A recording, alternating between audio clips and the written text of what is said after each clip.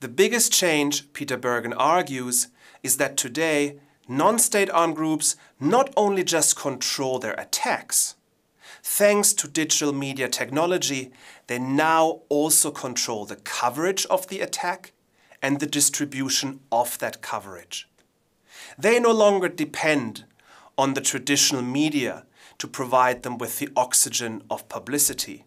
They have, as Bergen argues, merged with the media. They are the media. This has not always been the case. Only a few years back, the media environment in which non-state armed groups operated looked fundamentally different. So what exactly has changed and how?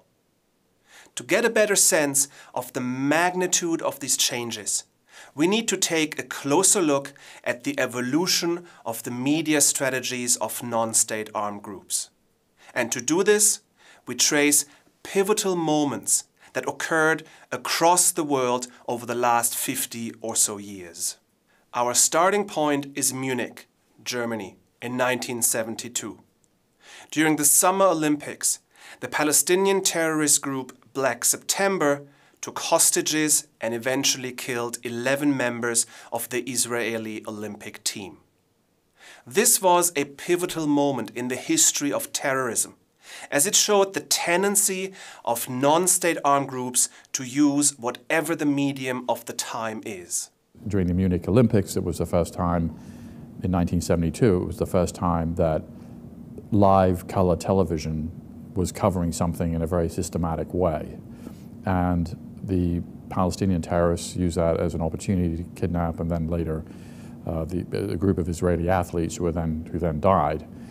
Um, and that was probably the most watched event in human history to that point because about a billion people were watching the Olympics in 1972 and you had, because of live color television, you were able to cover the event for the first time in live color television, which had never happened before for a terrorist attack.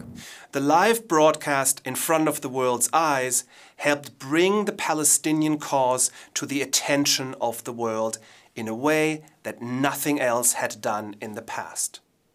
And while public viewers were appalled by the attacks, the situation in Palestine all of a sudden received a lot more media attention. Our next stop is Hezbollah in the 1980s. Founded in response to the 1982 Israeli invasion and occupation of Lebanon, Hezbollah has generally been credited by both terrorism and media scholars to have operated one of the most professional and sophisticated media strategies ever developed by a non-state actor at the time. At the core of its military operations was a professional media committee. Consisting of nine media professionals, the media committee held the ultimate decision-making power over whether and how any military attack was to be conducted. And the core principle driving its operation was that unless an attack could be mediatized through at least two camera angles, no such attack would take place. This shows the centrality of the media in the execution of violent acts.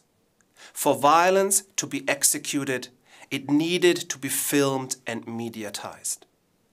The importance is not the violent act in itself, but the filming and dissemination of the violent act. The structure and principles first developed by Hezbollah in the 1980s were copied during the 1990s by Al-Qaeda, whose media committee Al-Sahab was tasked with relaying the terror organization's views to the world. It is important here to emphasize that there is no connection between Hezbollah and Al-Qaeda. In the late 1990s, Al-Qaeda had a very traditional, old-school approach to how it saw and used the media. In their very rare media appearances, they focused primarily on traditional media outlets.